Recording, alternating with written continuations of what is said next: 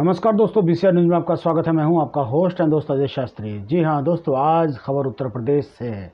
जी, जिला अलीगढ़ से है, जहाँ पर पुलिस ने ताबड़तोड़ कार्रवाई करते हुए कुछ शराब माफियाओं और गैंगस्टरों के खिलाफ जो है ताबड़तोड़ कार्रवाई की है।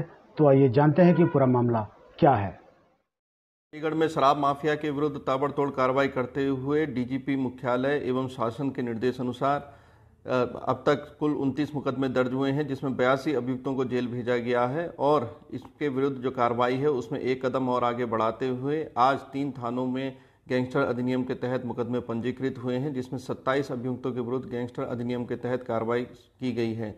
इसमें अगर बात करें तो चार शराब माफिया, दो फैक्ट्री मालिक, पाँच शराब तस्कर, पाँच सेल्समैन और अन्य सहयोगी एवं चार ठेका संचालक भी शामिल हैं।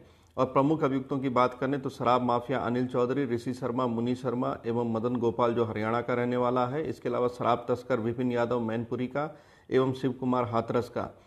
इसके साथ ही जो फैक्ट्री मालिक हैं और अवैध फैक्ट्री मालिक थे विजेंद्र कपूर, गंगाराम प्रधान व अन्य इनके साथी। इन सब के विरुद्ध गैंगस्टर अधिनियम के तहत कार्रवाई की गई है और अब तक जो टोटल इसमें कार्रवाइयाँ की गई हैं।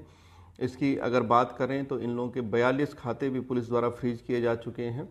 एवं कई सालों से जो इनके द्वारा जो धन अर्जित था, जो इन खातों में था, एक करोड़ से अधिक उसको फ्रीज किया गया। वहीं अपराध से अर्जित इनकी लगभग एक करोड़ 120 करोड़ की संपत्ति को भी पुलिस द्वारा चिन्हित किया गया है, जिसमें भी इन गैंगस्टर मुकदमों के पंजीकृत होने के बाद विधिवत 14 एक गैंगस्टर अधिनियम के तहत कार्रवाई प्रचलित है। इन सभी मामलों में सख्त कार्रवाई के पहले से ही आदेश हैं और जो अन्य अभियुक्त भी हैं इनमें से जो 77 को चार्जशीट अब तक किया जा चुका है, अगले हफ़्ते में लगभग इतने ही अभियुक्तों के विरुद्ध और गैंगस्टर अधिनियम के तहत कार्रवाई प्रस्तावित है।